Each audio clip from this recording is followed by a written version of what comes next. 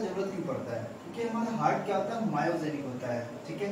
Neural control के regulation में नहीं होता, हमारा न्यूरल कंट्रोल का जो रेगुलेशन होता है, उसके अंदर नहीं होता नर्व कोई रेगुलेट नहीं करता इसके लिए कोई नर्व सप्लाई नहीं होता, ठीक है?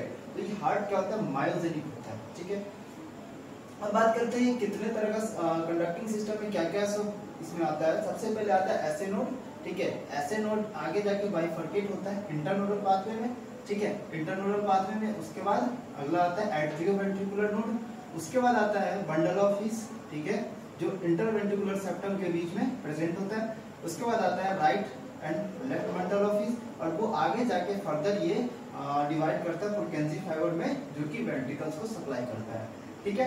तो ये वेंट्रिकल का कंट्रैक्शन कराता है फ्रीक्वेंसी फाइबर ठीक है? इसके लिए जो ये पाथवे दिया हुआ है, ये पाथवे इंपॉर्टेंट होता है एग्ज़ाम में पूछा जाता है। बेसिकली जो क्वेश्चन आता है, वो इसी, जितना भी पॉइंट है, वो मैं समराइज फॉर्म में एनसीईआरटी का टोटल पॉइंट इसमें लिखा हूँ। तो इसको अच्छे से समझना। ठीक है? सबसे पहले ऐसे नोड की बात करें तो ऐसे नोड प्रेजेंट होता है एट अपर राइट कॉर्नर पे। अपर राइट कॉर्नर पे ये प्रेजेंट होता है। मैं ये जस्ट स्केलेटन डायग्राम बता के बताया हूँ, ठीक है, ताकि समझने में आसानी हो। ठीक है? हार्ट का जो स्केलेटन डायग्राम है, ये ऐसे जनरली हर लोग समझाते हैं जो आसानी होता है समझाने में, ठीक है? तो बात करते हैं, ये अब ये क्या होता है? पेस मेकर होता है, क्योंकि एक्शन पोटेंशियल जनरेट करने में हेल्प करता है। क्या लिखा है? Initiate and maintain the rhythmic contracting contractile activity of the heart इसीलिए इसको बोलते हैं पेस मेकर, क्योंकि ये कंट्रैक्शन को इनिशिएट करता है, ठीक है? और इसका एक्शन पोटेंशियल मैक्सिमम होता है 70 टू 75 इम्पल्स पर मीटर होता है, ठीक है? एट्रियोवेंट्रिकल नोड के बारे में बात करें तो एबी नोड इसको शॉर्ट में लिखते हैं या फिर ए वी एन भी लिख देते हैं कभी कभी ठीक है? इसको एक्शन पोटेंशियल इसका क्या होता है? 60 टू 65 ठीक है? देखो धीरे धीरे एक्शन पोटेंशियल क्या हो रहा है? धीरे धीरे कम होता जाएगा। पहले 60 टू 65 था 40 टू 45 होगा, अब इसमें 20 टू 35 हो जाता है, ठीक है?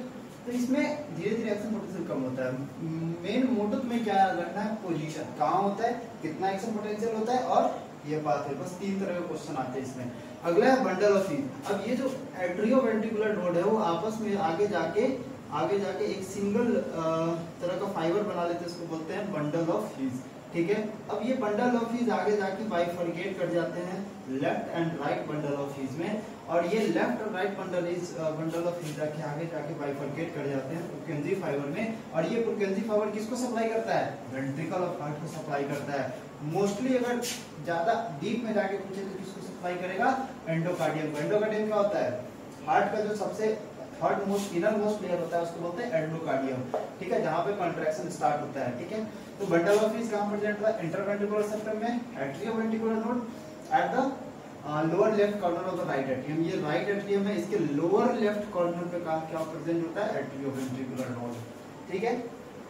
तो ये जितना समराइज फॉर्म में एक जो एनसीईआरटी में दिया हुआ है कंडक्टिंग सिस्टम होता है हार्ट वो मैंने समराइज फॉर्म में आपको लिख दिया है और इससे बाहर क्वेश्चन नहीं आएगा। ठीक है? चलो, आशा करते हैं आपको वीडियो समझ में आया होगा। तब तक के लिए चैनल को लाइक करें सॉरी चैनल को सब्सक्राइब करें और ज़्यादा से ज़्यादा वीडियो को शेयर करें। Thank you so much